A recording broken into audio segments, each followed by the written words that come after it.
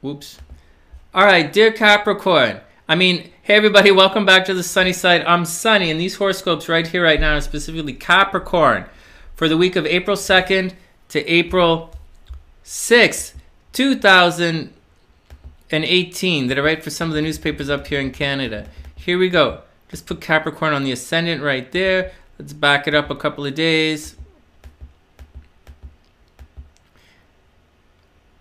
All right just to let you guys know, as I'm getting everything ready, we have a, we have an, I had an Easter special, and I did it for all of the SunnySiders, everyone who's subscribed to, everyone who joined our Facebook group, and everyone who takes, you know, watches the live streams. But it was so successful, you know, everybody loved it. So I'm going to offer it to everybody here in the weekly video.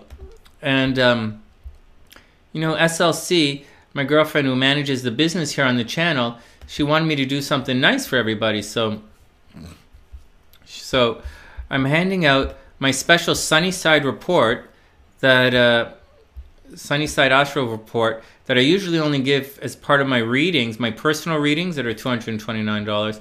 And um, but the report comes along with it, and I'm blowing it all out for Easter for you guys. She said, give it to everybody. So I'm like, okay, I'll give it to everybody and it's only $20 for this week. And I've never offered it for sale before, but I'm doing it right now. And in the report, you get how you approach life and how you approach others. Chapter 2 is your real motivations, the inner you. Chapter 3 is your mental interests and abilities, your cognitive you know, perceptions and awareness, your spectrum of comprehension, so to speak. Chapter 4 is romance, you know, how you approach love, how love arrives. Chap, you know, how you find love how love finds you. Chapter 5 is your inner how you achieve your goals, your drives and ambitions.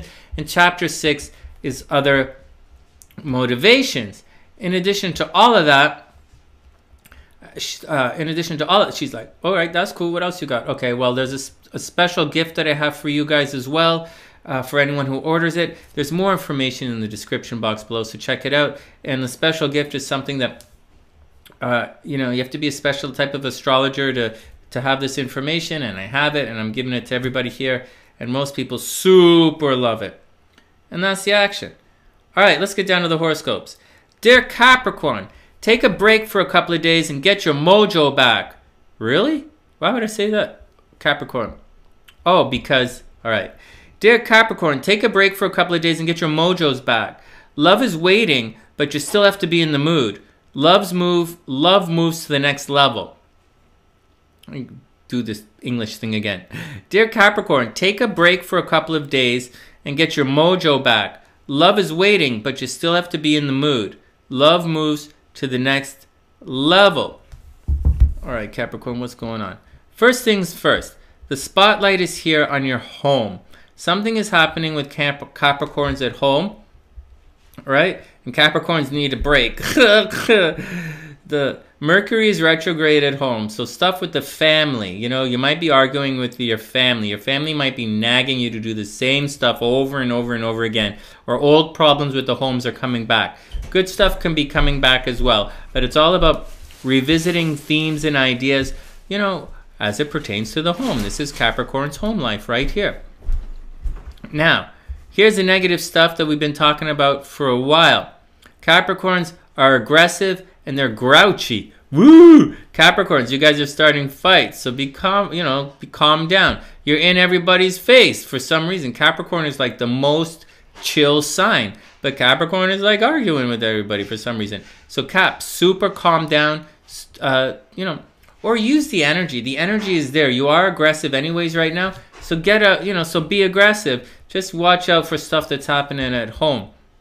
Now, the week starts with you wanting to, you know, hang with your friends, right? So like make the phone call, talk to everybody, get out there, be happy, you know. As the week progresses, you're going to get nostalgic and you're going to be thinking about the past and you want to visit things from the past. Okay, so that's what the action is. But here's the real deal. Venus is in this right here in Taurus, and this is Capricorn's astro sector of kids. So Capricorns are going to be super romantic right now. Capricorn's going to be, uh, people are going to be proposing to Capricorn uh, Capricorn's going to be going out on dates right now. And Capricorns are getting pregnant right now, and Capricorns are having babies. This is a great time to uh, for having kids, making kids, being romantic, being playful, the whole deal. That's where Capricorn is attracting right now, and that's the action. Scorpio is attracting partners, right? You see that? Capricorn is attracting romance, and that's the deal with it right now. And that's the action, Capricorn. and if you have any more questions, you know, tune into the live stream and ask away.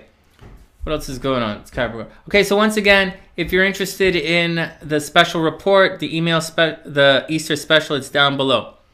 Dear Capricorn, take a break for a couple of days and get your mojo back. Love is waiting, but you still have to be in the mood. Anyways, love moves to the next level, and that's right here. Love is up in the game. It's baby time, Capricorn, and that's the action. From the sunnyside.net, I'm Sonny, wishing all Capricorns the absolute best of a super beautiful week, and I'll see you guys soon.